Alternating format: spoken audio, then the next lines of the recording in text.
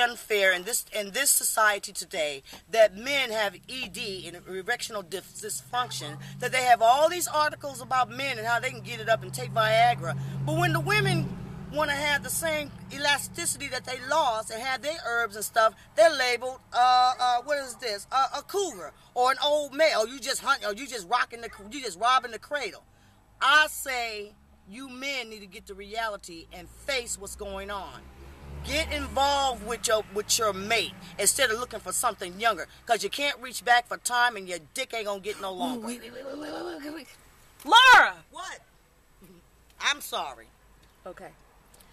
Now, there are some herbs you were talking about. I was talking about moringa oleifera. It's the horseradish tree that they use this to keep men's libido up. Okay, when they have erectional dysfunction. Now they also have one for women that's called maca. It's it's, it's a Peruvian ginger root. It gets your back your your, your, from being fatigued. It makes you healthier. It makes your estrogen flow where it balances out for your body. And look here, and you really don't have to you don't have to try and please your man please yourself first and that's the reason why he came with you in the first place. You're talking about love.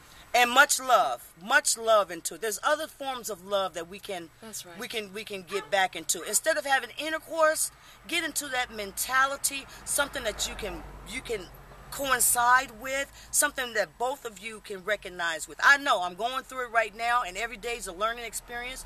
The libraries are open the computers are free use that to your advantage. Don't let the financial or this stereotype stop you.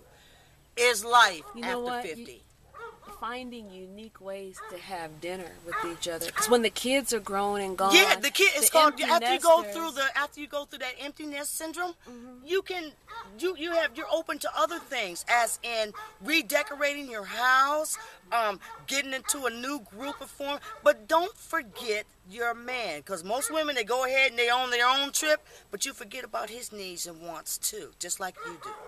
You know, it's it's not a one way ticket. It's a both it's Gotta both keep ways. the fire going. You got to keep that fire going, Have even if it comes and down dinner and little and then and then sometimes you know it's okay if you got a fireplace perfect get you a picnic basket get you an old rag gold rug and, and you ain't got to show your, your your cellulite or anything but just to the point where it's sexy enough where it leaves his mind Go wondering ahead, Miss Laura.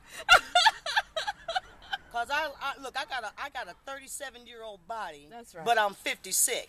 and let me tell you, they I give them a reason to get pissed off, and I love you too. I'm through. I got.